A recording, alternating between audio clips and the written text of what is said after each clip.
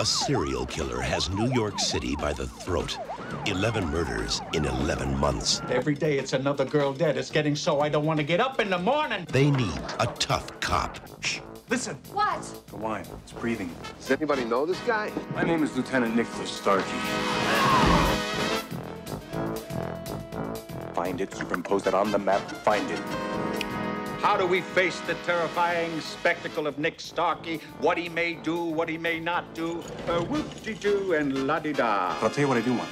All reports, background of any kind on every one of the murders. I don't work for you, you work for me. Get it? No matter what the mayor says. Did you miss me? So, did Nick agree without a fuss?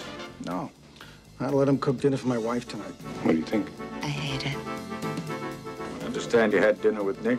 I think he's much more interested right now in your daughter. What are you talking about? Just look at your cigar and think of your daughter. So we're gonna go to bed. And then tomorrow, you're gonna catch the killer and save the girl. Okay. How am I doing? The January Man.